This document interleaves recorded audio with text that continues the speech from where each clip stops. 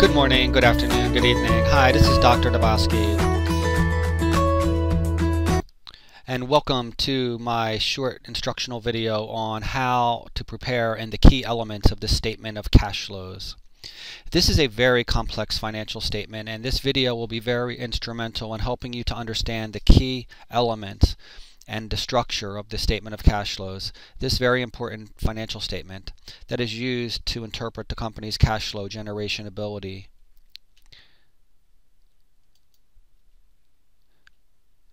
So the idea behind the statement of cash flows is very simple. In the balance sheet, cash is generally listed as we always have learned as the first asset. The change in cash, which is this year minus last year, is the net cash flows for the current year. The statement of cash flows lists all cash inflows and cash outflows for the current year. Therefore, the change in cash in the balance sheet equals the net cash flows reported in the statement of cash flows. We know that all transactions are broken into three key areas, operating, investing, and financing. Remember the pig oinks and the statement of cash flow OIFs. OIFS, Operating, Investing, Financial, and Supplemental Cash Flow Disclosure. This is the typical flow of the statement of cash flows broken into the three activity areas, operating at the top, investing in the middle, and financing at the bottom. Notice the positive numbers are, list, are the inflows and the negative numbers are the outflows of cash. Today's video will primarily focus on section 1 only of the operating section and we will proceed as follows. There are key operating activities that you need to be aware of. And there are also two uh, generally accepted ways of preparing the statement of cash flows. The first method is called the direct method. The second is called the indirect method. The direct method is the easiest of the two methods. Under the direct method, cash inflows and cash outflows, positives and negatives, are directly listed, and this is very easy to do. However, under the indirect method, cash flows are not directly listed. Instead, a reconciliation from accrual basis net income to cash basis net income. Do you remember those terms? Remember accrual basis is what? Lake Erie. That's when all revenues that are earned are reported, right? And all expenses that are incurred are matched against the associated are the, considered the associated costs of producing those revenues. So accrual basis accounting recognize all revenues that are earned irrespective of whether the cash is received and recognizes all expenses incurred irrespective of whether the cash is paid. So generally that results in a timing difference. Nearly 100% of all companies use the indirect method, and so therefore for this reason only, we will only study the indirect method to be practical. The indirect method provides a reconciliation of net income to net operating cash flows. Again, this reconciliation adjusts the accrual basis net income to the cash basis net income. This reconciliation is done by adjusting for items in the income statement that, number one, do not represent inflows or outflows of cash. For example, depreciation expense also do not relate to operating activities but affect net income. For example, like gains and losses on the sale of long-term assets, which was a prior to topic that we covered.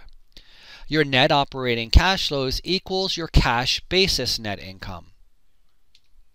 Do you remember cash basis accounting? Well, here is the indirect method and here is the format of the reconciliation you'll notice that at the very top of the statement is our net income. And what you should realize is part of the net income is accruals and part is also cash. So that means there'll be some revenue that's earned where the cash isn't received in net income. Then there'll be revenue that's earned and maybe even billed on account, but then subsequently that account, is, the cash comes in against that account during the same period. But inevitably, some of the net income will include either revenues that are earned but the cash has not been received as of the end of the period, or it will include some expenses that were incurred but the cash has not been paid as of the end of the period. So therefore we need to go through this reconciliation to try to just determine what the total amount of net operating cash flows are. So the first thing we're going to do is we're going to kind of forget everything we've learned in up to this point in this online class or full term course. We're going to eliminate all of the accrual accounting which we've been focusing and working so hard to understand. And then when we're done reconciling and eliminating the accrual accounting, we're only going to be left with the net income that represents the cash. So, why do we add depreciation expense to net income in the reconciliation? See if you can understand the following logic. What effect does depreciation expense have on net income? Correct, it decreases it. What effect does depreciation expense have on cash? None. We never pay for depreciation. It's an allocation and it's in a special adjusting entry. We never write a check for depreciation expense like we may like we do for utilities expense or salaries expense. It's just an allocated cost. So that net income can be reconciled to cash flows, the effect of depreciation expense must be eliminated from net income. The effect of any expense can be eliminated by doing what do you think? What would you do to it? You would add it back to net income because originally we subtracted the expenses to derive net income. So if you want to eliminate it, you do the opposite, you add it back. So that is the depreciation expense, how we would eliminate the depreciation expense, add it back to net income. It's a non-cash expense. Why do we add losses and subtract gains from net income in the reconciliation? See if you can understand the following logic. This will be very similar to the depreciation expense we just discussed. Do gains and losses affect net income? Absolutely. Do gains and losses affect operating cash? No. Therefore, these effects must be eliminated from net income to calculate operating cash flows. Gains increase net income, just like revenues, and need to be subtracted to eliminate them. Losses decrease net income, just like expenses, and just like depreciation expense we just saw, we're going to add it back. So to eliminate gains, we subtract them. To eliminate losses and expenses, we add them. Example, suppose a company sells land for $12,000 that it originally bought for 10,000. Record the entry. Well, you're going to record the cash that you got from selling of the land. Remember, land is not a depreciable asset. We never depreciate it. We have to credit the land for its original historical cost to get it off our balance sheet because we sold it. And therefore, since we got more cash than the book value of the land, 12 is greater than the 10,000, we have a gain of $2,000 to balance out this entry. So how much does net income increase because of this transaction? Correct. By the $2,000 gain, since it goes on the income statement just like revenue. How much does operating cash flows increase because of this transaction? 12,000, right? No, incorrect it's zero, right? Because the 12,000, since we sold a long-term productive asset, we would report that as an inflow of cash in the investing section, which will be followed up in a subsequent video. To calculate operating cash flows, you need to eliminate the positive effect of the gain by subtracting it from net income in the reconciliation. We now move on into the adjusting our net income for the changes in current operating assets and current operating liabilities. For example, if the accounts receivable balance is increasing, does the company have more or less cash compared to net income? Example, the company provides $100 services on account. So we debit accounts receivable, we credit service revenue, the old entry we've seen a thousand times to this point. Later, the company collects $70 from the customer, so we debit cash and we credit the AR. The operating cash flows are equal to the $70 of cash we actually physically received.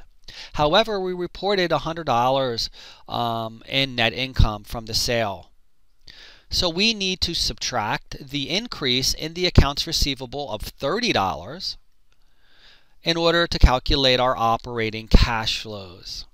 Notice that $30 of that accounts receivable was not cash, although all of it was reported in net income. Only $70 of it was cash. So that's why we subtract it from net income because we're only trying to back into the operating cash flows. So again, how much did accounts receivable increase overall? Well, you can see we have a debit to AR and a credit to AR. The difference is that the account increased by $30.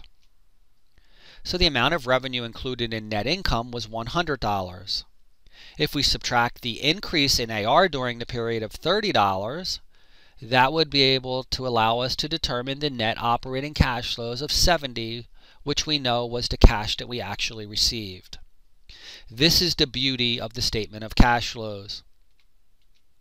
If current operating liabilities, on the other hand, increase, then we're going to add the increase to calculate operating cash flows. For example, if salaries payable increases, does the company have more or less cash compared to net income? Example, workers are owed $100 in salaries but are not paid. We would debit salary expense, it's incurred an incurred expense, and we would credit salaries payable, another standard entry. Later, let's assume the company pays the workers $70 of the salaries owed. We will clean up our balance sheet and debit, debit the salaries payable and decrease it, and credit our cash for $70. Our operating cash flows, as you can see, is a negative 70, and our net income is a negative 100, or a net loss of 100. So in order to reconcile to operating cash flows, we need to add the increase in the salaries payable account of $30 to net income to calculate our operating cash flows. You could see that the salaries payable account increased by $30 overall. We credited it for 70 when we accrued the incurred expense, and then when we paid against it the $70, we were still left $30 in that account, which means that represents the increase. We reported a negative uh, $100 in net income because we reported that as only an expense.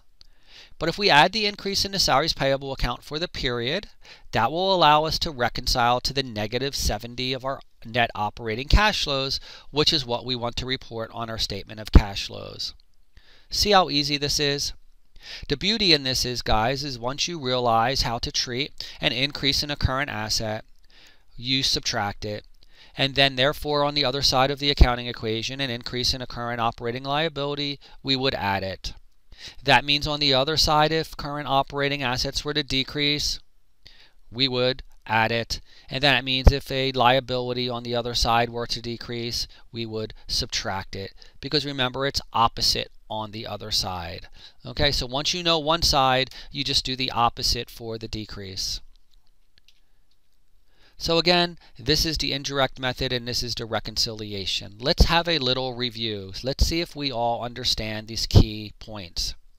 Determine whether each of the following items would be added or subtracted from net income to calculate operating cash flows. Gain on sale of asset. What do you think? Correct. Subtract. Decrease in accounts receivable. Add. Correct. Decrease in salaries payable. Correct. Subtract.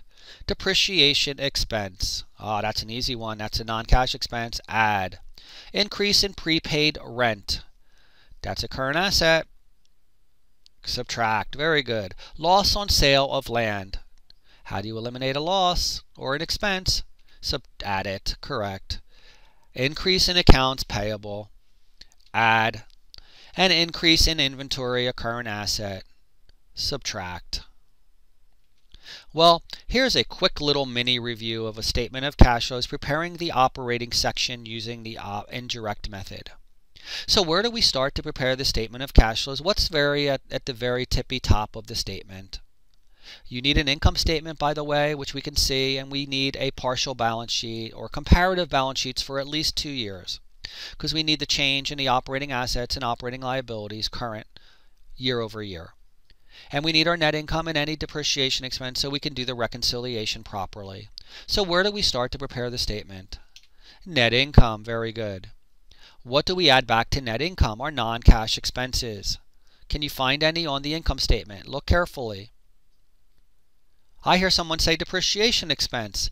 Correct. Add it back. Now, are there any other losses or gains on the income statement that need to be eliminated? Losses would be added, gains would be subtracted. I see none, so now we can move on to our current operating assets and current operating liabilities and look at the change in these accounts year over year. We can see that our accounts receivable account increased by $4,000 from 2013 to 2014. So how do we treat an increase in a current operating asset? We subtract it. Our inventory decreased by $8,000. How do we treat a decrease in operating assets? We add it and our current operating liabilities increased by 500 so therefore how do we treat that well it's opposite of what an increase in a current operating asset is it's a subtraction so an increase in a current operating liability would mean that it's opposite on the other side we would add it Simply all we do is we need to now add down and determine our net cash from operating activities of $23,500. Pretty simple, huh? Well, I hope you enjoyed this video. It's a little longer, but uh, however, it's a short little snippet, and it should help you to prepare the operating section of the statement of cash flows, and it should help you to better understand of all of the procedures that we must follow in reconciling and preparing the statement of cash flows, a very important statement indeed. I hope you enjoyed this video. Good afternoon, good evening. Have a great rest of your time out there in Videoland.